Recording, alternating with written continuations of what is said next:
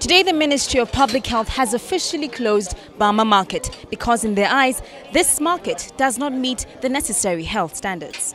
This morning, as traders went about with the businesses, officials from the Public Health and Sanitation Ministry, the City Council, and police officers inspected the market's hygiene levels. They concluded that the filthy business as usual simply cannot continue. Soko imefungwa.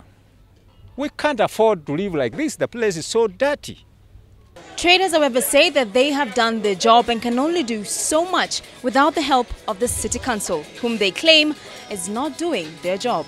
Traders here pay fees to the City Council to supply them with water and collect rubbish, and they say the City Council has not lived up to its end of the bargain. The abdication of responsibility by a cash trapped City Council aside for the moment, the Public Health Ministry has told the traders to clean out the market, and only if it meets their hygiene standards will they be able to resume business. Tenda sana maendeleo ya hapa sababu kanjo ndio haifanyi kazi yake. Sisi wenyewe tumefagia, tumesafisha, lakini wao bado kutengeneza vile ilivyo. Hapa Bama tuko na shida ya maji na kanjo, wale wanafagia soko ni watatu, hakuna kitu anatusaidia. Grace Msalame for news at 8.